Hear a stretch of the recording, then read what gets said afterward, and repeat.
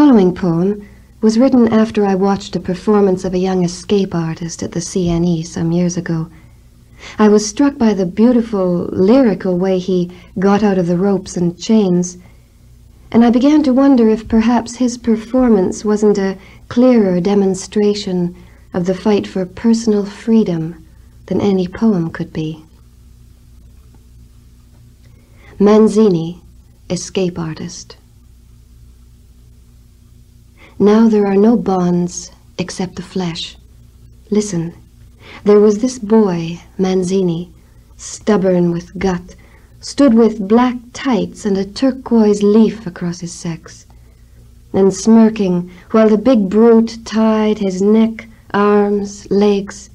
Manzini, naked, waist up and white with sweat, struggled.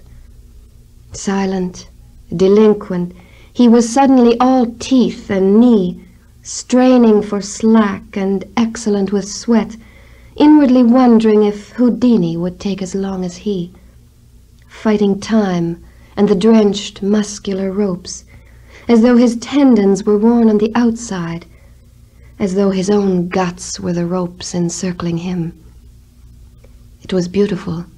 It was Thursday. Listen, there was this boy, Manzini, finally free, slid as snake from his own sweet agonized skin to throw his entrails white upon the floor with a cry of victory. Now there are no bonds except the flesh.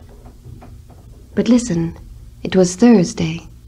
There was this boy, Manzini.